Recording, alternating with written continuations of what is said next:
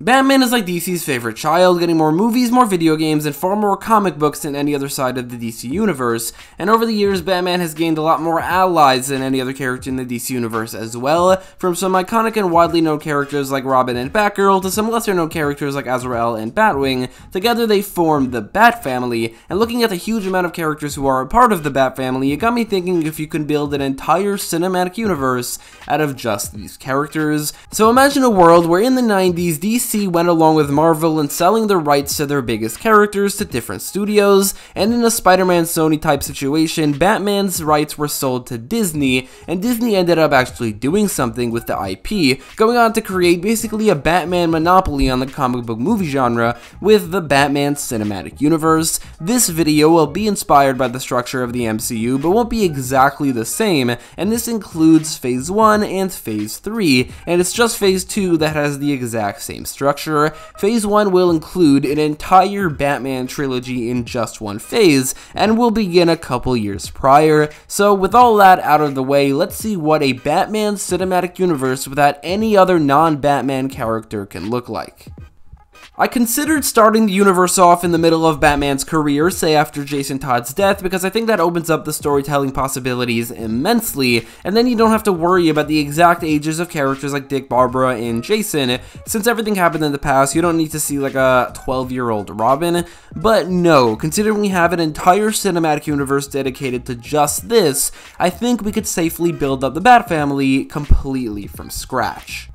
I'd start the universe off a bit earlier in order to fit in an entire Batman trilogy into Phase 1, and we'll start with a Batman origin story. It just so happens that there was a origin story movie released around this time, that being Batman Begins, and this movie could be very similar. In fact, I think Batman Begins is a perfect title for the beginning of a Batman cinematic universe, so Batman Begins it is. The movie would be released in 2005, Christian Bale would be this universe's Batman, and stick around far longer as Batman, but the movie would have some changes. There would be a far more fantastical version of Ra's al Ghul with the Lazarus Pit and coming back to life and all those things. I would also completely replace Rachel Dawes with Talia al Ghul as the main love interest. For one, Rachel Dawes doesn't exist in the comics and she wouldn't be in the cinematic universe, but also Talia al Ghul being the main love interest here will come back, like, at the end of this universe. Aside from all that, however, everything else can be practically the same as Batman Begins with Ra's al Ghul as Scarecrow and Christian Bale Batman,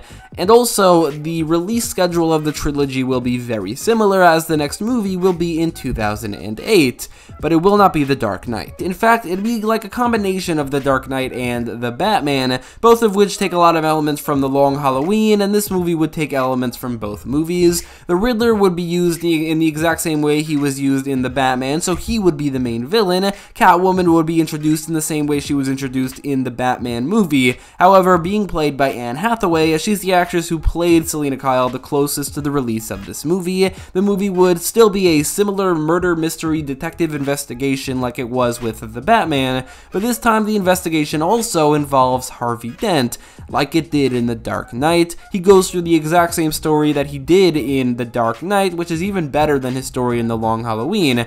And then uh, I'd end this movie with Selina Kyle leaving Gotham like she did in The Batman, and an end credit scene where Bruce goes to the circus, teasing, well, you know. In 2010, we'd have a movie that is the equivalent to The Incredible Hulk in that it doesn't have any sequels and is completely standalone, that being Catwoman. There was a Catwoman movie released in the 2000s, but this movie will be completely different.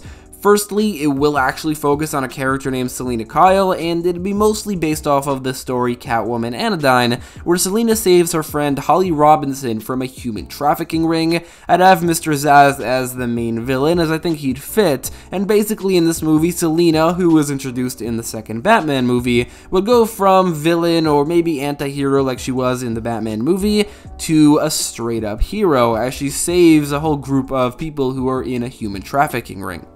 In 2011, the Bat family would start to expand a bit with the release of Batgirl, a movie that would showcase Batgirl's origin story, mostly inspired by Batgirl Year 1, and would feature both Killer Moth as a minor villain and Firefly as the main villain. Honestly, that's just because that's what they were going to do with the Batgirl movie that never got released. Now, Robin hasn't appeared yet, but Batgirl wouldn't technically predate Robin, as his origin story, as we already know, began a couple years prior in 2008, and by now he's already been Robin for two two years. He's also referenced a lot in this movie as well, we just haven't seen him yet, but we will right now.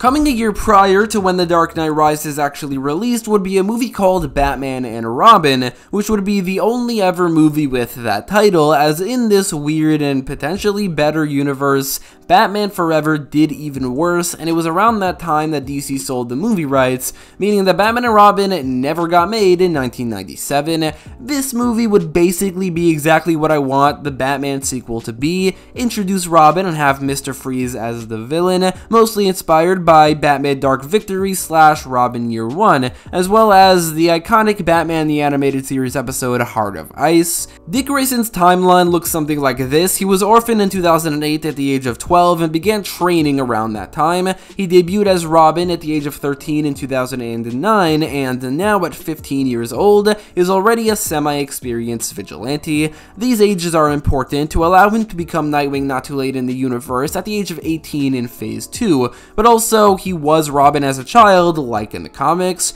We kind of got our cake and ate it too here, as I think seeing an actual 12 year old as Robin would be a bit weird, but now at 15 I think it's a bit more reasonable he's basically the same age that Spider-Man was in his first appearance in the MCU. The Avengers-style team-up of this cinematic universe would be much smaller in scale, but still come out in 2012. The movie would be called Gotham Knights without Batman in the title at all, because DC has proven three times over already that they consider Gotham just by itself without Batman or even the word Bat a big enough IP as we got the TV show Gotham, the video game Gotham Knights, and the upcoming TV show Gotham Knights, and I think Bat Family wouldn't really work as a title, so these movies will be called Gotham Knights Knights, and the team in universe would be called Gotham Knights, except by each other. They call each other the Bat Family, the team wouldn't be especially large, there's just Batman and Robin who have met before, as well as Catwoman and Batgirl, the latter of whom is the only character to have never met any of the others prior to this, and you can already see maybe like a pairing off of Batman and Catwoman as well as Robin and Batgirl, and that being a large focus of the movie. The movie would feature the Court of Owls and Lincoln March aka Owlman as the main villains, so basically the Court of Owls slash City of Owls storylines, which granted came out like a year prior to the release of this this movie, but this is an alternate universe, so I think storylines that are that close to the release and also technically came out before are still uh, usable for these movies. We start off Phase 2 in 2013 with a movie called Batman the Caped Crusader, which is based off of Batman and the Monster Men, alongside an episode of Batman the Animated Series known as Old Wounds, as it will begin to set Robin down the path to become Nightwing, as the movie begins with a disagreement between Batman and Robin similar to that episode, and rather early on into the movie, Dick leaves Gotham City, which means we really only got two movies with the Dick Grayson Robin before he goes off off to become Nightwing. Aside from that, however, the movie will be mostly based off of Batman and the Monster Man, which will introduce Batman to some superpowered threats like Man-Bat, Clayface, and Killer Croc, all of whom lead back to and were created by the main villain, Hugo Strange. On top of that, after Dick leaves, Jason Todd is introduced, and by the end of the movie becomes Robin. So we didn't actually see Dick Grayson becoming Robin in Phase 1. This movie will feature a character actually becoming Robin, Robin, since we haven't actually seen that before, and you might notice that Dick Grayson was the Robin of Phase 1, Jason Todd is the Robin of Phase 2, and the Robin of Phase 3 is yet to be seen. The second Batgirl movie, an equivalent to Thor the Dark World, will be Batgirl Wanted, or at least that's the working title, and it'd be about James Gordon thinking that Batgirl killed his son, James Gordon Jr., and he ends up hunting her down, not knowing that she's his daughter. There's a comic with the same title and story, and it came out around the same time, like in 2014, but I think that the writers of the movie can come up with the concept on their own. It's very similar to an episode of Batman the Animated Series called Over the Edge, so it's not entirely impossible that they could come up with the story. In the end, however, it would be revealed that James Gordon Jr. actually faked his own death, and he ends up being the main villain of the movie, because if you don't know, Batgirl's brother is a straight up psychopath serial killer in the comics. In 2014, the equivalent to Captain America the Winter Soldier would be Nightwing. Now, the first Captain America movie wasn't technically a Nightwing movie since Dick Grayson wasn't Nightwing yet, but honestly, writing this now, I'm just gonna decide that that movie was told from Dick Grayson's perspective and he was the main character. So, even though it was also a Batman movie, the Captain America trilogy equivalent would be a Dick Grayson trilogy, and this movie solidifies Dick Grayson alongside Batman and Batgirl as the trinity of this saga. This movie would be the follow-up to the last Batman movie, in which Batman and Robin's relationship fractured. Dick Grayson is no longer Robin and has quit vigilantism, and he's been recruited to an agency called Spyral, now at 18 years old. This is based off of a story called Grayson, which he did the same thing, but also in that story, he meets a character named Helena Bertinelli. Helena Bertinelli would be a member of the agency, which is an agency that they quickly learn is very corrupt and is mostly on the payroll of Blockbuster. Blockbuster would then be revealed to be the man who killed both Helena Bertinelli's parents and also Dick Grayson's parents, so the two of them become vigilantes, Dick Grayson returning to vigilantism as Nightwing and Huntress to take Blockbuster down, which I think is a great way to introduce both Nightwing and the Huntress, both very important members of the Bat family. Finding the equivalent to the Guardians of the Galaxy was no easy task, since you both have to have a secondary team to the Bat family, which is close enough to Batman that the studio would have the rights to it, but also not too close to Batman that it's not just basically more Bat family. I considered a couple options like maybe the Suicide Squad, since a lot of its members are Batman villains, but decided that that's its own thing and they wouldn't have the rights to Amanda Waller or even the name Suicide Squad, so that isn't a possibility. Maybe the Birds of Prey, but without Black Canary and then we also need to give Batgirl her own trilogy, if nothing else because of her name recognition. Plus, I just introduced Huntress in the Nightwing movie, so yeah, the Birds of Prey was a non-starter. The best choice is actually pretty obvious, it's The Outsiders. The Outsiders were a group of heroes led and created by, when you know it, Batman, who were supposed to be outside of the Justice League, hence the name. The main members are Metamorpho, Black Lightning, Katana, Geoforce, Halo, and the leader, Batman. And honestly, I think the studio should have the rights to these characters. This group was created in a Batman comic book. The comic was always then named Batman and the Outsiders, so they wouldn't really exist outside of the realm of Batman. That being said, there are a couple characters that do exist outside of the realm of the Outsiders, like Black Lightning and Metamorpho, who were created before the team's existence, so they are off limits. But characters like Geoforce and Katana and Halo and a lot of others were all created for the Outsiders, so they are allowed.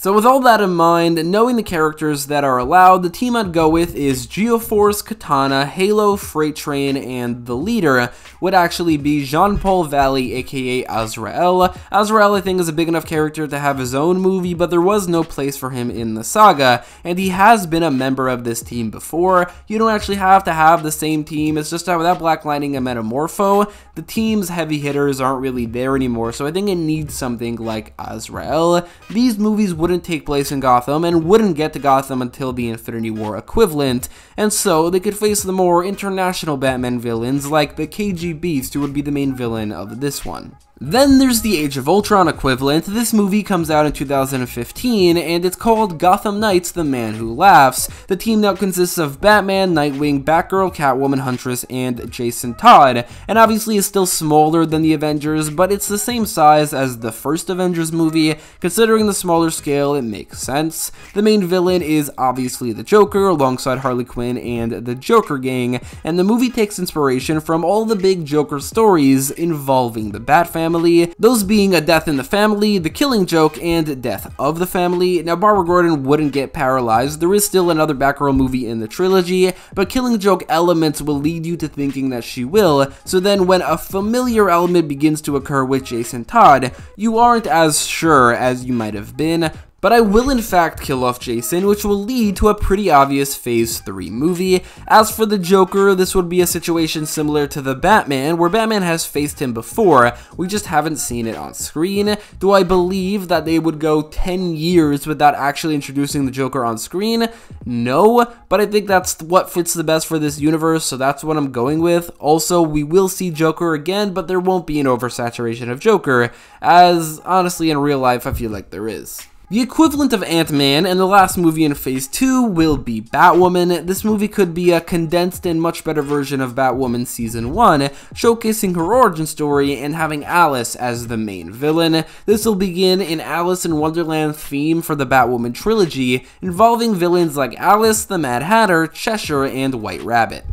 Phase 3 will be very differently structured than the MCU. For instance, Phase 3 basically begins with an Avengers movie in Civil War, while this phase starts off much smaller in what is almost a Batman movie. This movie coming out in 2016 will be Red Robin and will have Tim Drake as the main character. The movie takes inspiration from his introduction story, Batman A Lonely Place of Dying, in which, or at least in this movie, after Jason Todd's death, Batman hasn't really showed up much in Gotham and the rest of the Bat family are present, but they don't really inspire fear like Batman does, so villains become a bit more daring. Tim deduces Batman's identity and tries to bring him back, but fails to do so, and instead, he steals Jason's Robin suit and becomes Robin, even though Batman would never allow it. He becomes Robin to stop a villain named Anarchy, who's been terrorizing a very small part of Gotham, the one that he lives in, and by the end of the movie, Batman does return, thanks to Tim Drake, but refuses to allow Tim to be Robin. Instead, Tim creates a new mantle, Red Robin. The next movie would be Nightwing vs. Deathstroke. Again, it's a working title, but the movie would be mostly inspired by Teen Titans The Judas Contract, just without any of the Teen Titans aside from Dick Grayson. In this movie, Dick would meet a new vigilante named Flamebird, also known as Betty Kane, and the two would fall in love. Betty Kane is a hero in the comics, so people wouldn't exactly expect it when it's revealed that she's actually been working for Deathstroke and is the substitute for Terra in this story. Deathstroke sent her to learn Nightwing about Batman's identity and their weaknesses in order to get his revenge, because the same thing that happened in the comics, he basically thinks that they killed his son. Basically, yeah, it's a bare bones, stripped down version of the Judas contract without any of the Teen Titans or Terra, just Nightwing and Deathstroke plus Betty Kane. Deathstroke then doesn't go after Batman, as Nightwing does manage to prove to him how his son died, which is that he overdosed on the drugs that gave him superpowers that he got from an organization that in the comics is Hive, while here, well, we will find out out, this will lead into a Deathstroke movie in this very phase. We'll get to that in a bit. 2017 would see the release of The Outsiders 2, or Volume 2, if also directed by James Gunn. The movie could add a couple members like Looker and Windfall. I did consider Grace Choi, but she's got like Amazonian elements to her, and I think that prohibits her usage. I'd use some truly out there villains, villains that we never see anywhere else before, like Catman and Copperhead, but also the Outsiders have been tracking down the operations of a man known as Bane, which by the end of this movie leads them to Gotham City. So after enough time has passed and Tim Drake has been introduced and Jason Todd would now be around 18 years old, we'd get Batman under the Red Hood. Not exactly the equivalent to Civil War, but it would include a lot of other Bat family members, mainly Nightwing, Batgirl, and Catwoman in smallish roles, and Tim Drake in a very large role which is to be the main subject of one of Jason's motivations. There's Why Didn't You Look For Me, which Arkham Knight did very well. There's How Could You Not Kill the Joker, which the animated movie did perfectly. But then there's also How Could You Replace Me So Quickly, that neither adaptation really did anything with. And also there's the Titans version that really didn't do anything well. This movie would use all of those motivations as an expanded live action version of the animated movie, which sadly wouldn't exist in this alternate universe, but we'd have this instead. We'd see Joker again in this movie used in the same way he was used in the actual story, but maybe Jason could actually kill him because that could be a very impactful moment, but it would mean that we never see him again. Either way, Joker would not have really any role in the saga going forward, so I'd go either way. The movie ends with Jason going off to potentially potentially be led down a path of redemption, and we will see that in the Infinity War and Endgame equivalents, and while I won't go over the next saga, he could definitely get his own movie or TV show in the next saga and next phase.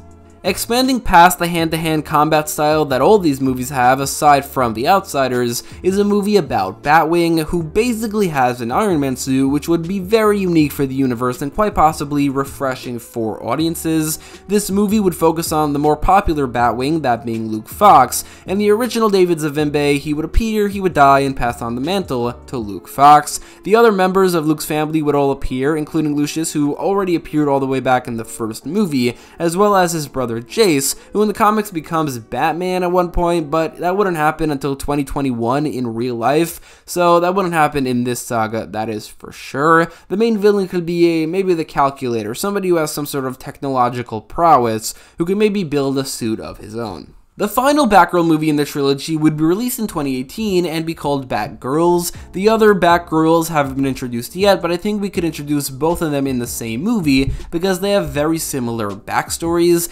Both Cassandra Cain and Stephanie Brown were raised by villains. Cassandra Cain's father is David Cain and mother Lady Shiva, while Stephanie Brown's father is Cluemaster. I think that what we could do here is that Stephanie Brown would, at the beginning of this movie, be fully independent of her villainous father, while the movie revolves around Cassandra Cain trying to get away from her parents, so Stephanie can act like a mentor figure to her, while Barbara acts like a mentor figure to both. Lady Shiva and David Cain would be the main villains, and they are both very, very big threats, and by the end of the movie, Stephanie Brown is spoiler, Cassandra Cain is orphan, but down the line, she will become Batgirl, because eventually Barbara Gordon will become Oracle. The second Batwoman movie will continue the Alice in Wonderland theme and actually be called Batwoman Wonderland, which is actually a story from the comics, and also Mad Hatter would be the main villain. I would also include a Bat family member or two, like Catwoman and or Huntress, since for one, I don't want Batwoman to meet the other Bat family members in Gotham Knights, but also Catwoman and Huntress don't really have much to do in this saga, so let's include them in this movie, why not? We have like two fully female superhero movies in a row here. That could be very controversial, but I don't care. That brings us to the Infinity War equivalent, which will be called Gotham Knights Cataclysm, and have its inspiration firmly rooted in the 90s, which is also the case for Infinity War. There are two main inspirations here. There's Batman Nightfall, which is what I was going to call this movie, but the Gotham Knights Nightfall having a double night in there sounded a bit weird. The story which introduces Bane and was about Bane causing a breakout in Arkham Asylum, which leads to Batman fighting villains all night, before coming home to find Bane in Wayne Manor.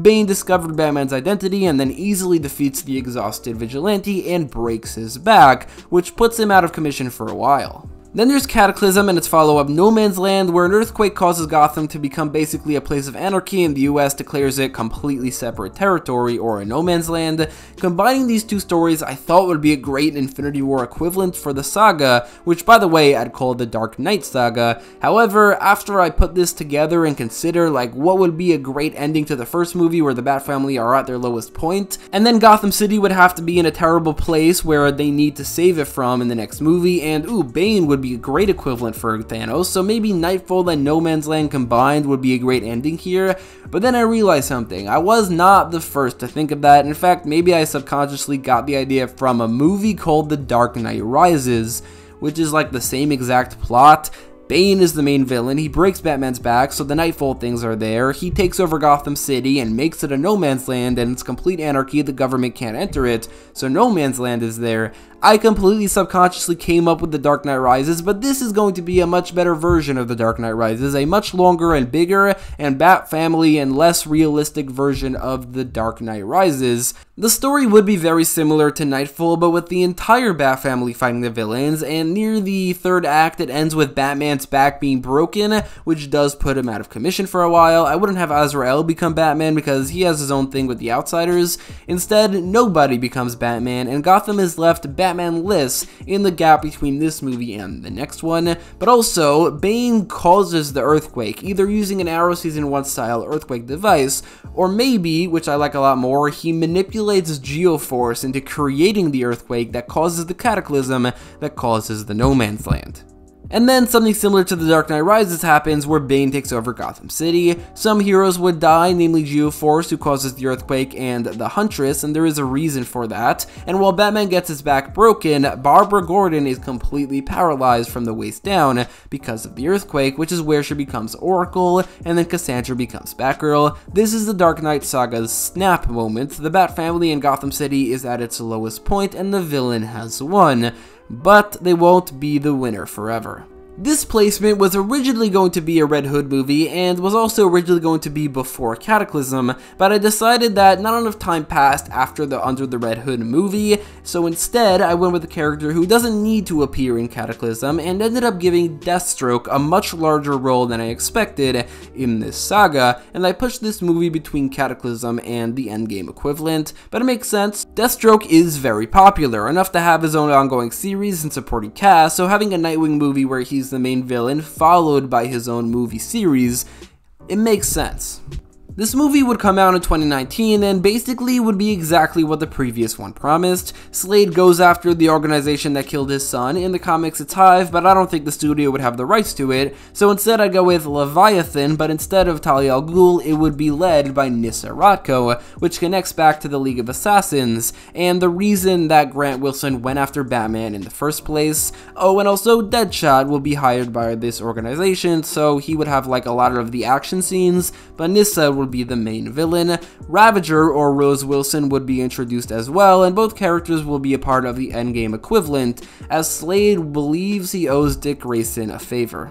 The endgame equivalent will be called Batman The Dark Knight Returns and would take place after a single year time jump, but Batman has not fully recovered. He has recovered a bit, but not fully. Some of the Gotham Knights are still imprisoned by Bane, and a ragtag group of the remaining heroes come up with a plan. Batman builds a mech suit to help him stand, one that either looks similar to the Kingdom Come design, or probably more so the Dark Knight Returns design, which is also the title of this movie, which you may notice was in Gotham Knights The Dark Knight Returns, it's Batman The Dark Knight Returns. This was on purpose because while all of the Gotham Knights are in this movie, at least the ones that are still alive, plus like Deathstroke helps them out, and there is a big Gotham Knights showdown like the Endgame portal scene where Batman's fighting Bane and also all of the other villains are there, but then all the Gotham Knights show up and then there's a big war showdown that goes on. That all happens However, the movie is told like almost 100% from Bruce Wayne's perspective. He is unequivocally the main character, and also Batman The Dark Knight Returns is an iconic title.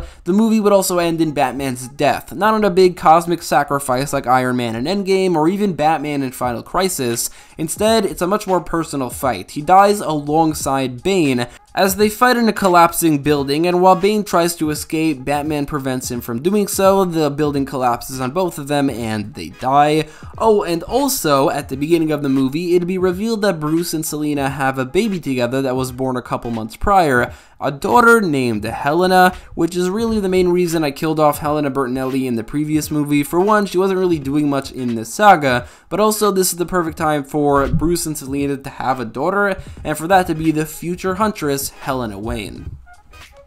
And finally, the saga ends with a movie called Nightwing Batman Reborn, and would take inspiration from a few stories. There's the Batman Battle for the Cowl story, which is where they fight over the mantle of Batman after Batman seemingly died in Final Crisis, and ends with Dick Grayson taking over the mantle. There's also Batman and Son, which showcases Damian Wayne's origin story, and Batman and Robin Batman Reborn, which is the first story with Dick as Batman, but also Damian Wayne is his Robin.